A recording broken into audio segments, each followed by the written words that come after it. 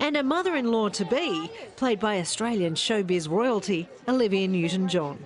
Pulling it all together is Stephan Elliott, the creator and director of Priscilla, Queen of the Desert, who was thrilled to get Livy on board. It took three or four years, but I talked you into it, and she just had such a good time. I mean, yeah, literally swinging off the chandelier. Memories of Sandy from Grease, what are they going to be like at the end of this film? Sandy is dead. Best Men, you're back on screen. We are so excited. Yes, I'm having a lot of fun. We have too much fun, as he's saying. We're having a little bit too.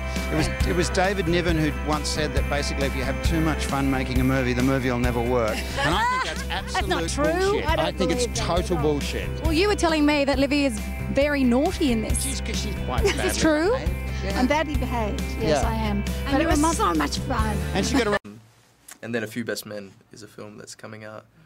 Um, it's kind of like a wedding gone wrong film with uh, Olivia Newton-John. So she plays my mother-in-law. That should be fun. Oh, awesome. And how many times have you watched these? I know, I know. Surreal. Too many. yeah, but but Sandy is dead. Oh, yeah, yeah. She's Olivia's great. You In are great. film. You're fantastic in this movie, and it's always a pleasure to talk to you. Thank you so much. Thank you David. so much.